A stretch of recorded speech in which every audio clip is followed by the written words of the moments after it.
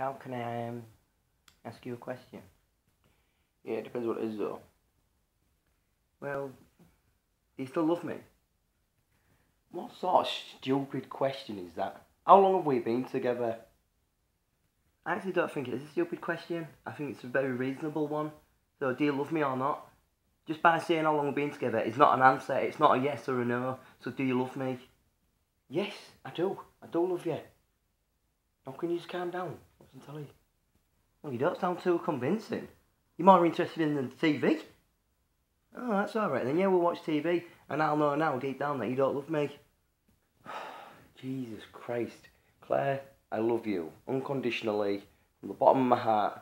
What more do you want me to say? Do you want me to just, like give you my blood or something? No, just a little bit more appreciation would uh, be a lot better, to be honest with you. Because you just really just made in.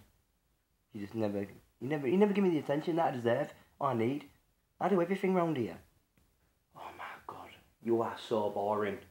So boring, you don't do everything. How dare you call me boring? Look at the state of you.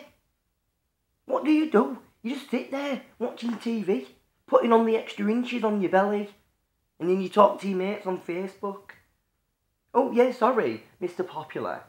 You don't do nothing. You're either on your Xbox, playing stupid FIFA or bloody Call of Duty, or you, you like I say, you're doing something stupid on your phone. So don't even dare say that I'm boring. You bloody fat fool. Jesus Christ, I'm not being funny. If I was exciting as like a bike with no wheels, what's the point in that? You do amazing. I, you know what? I'd rather go, put me down the toilet and flush it than listen to you just rabbiting on. Because at the end of the day, if you're going to talk shit, I might as well go put my head where the shit's been. Being head.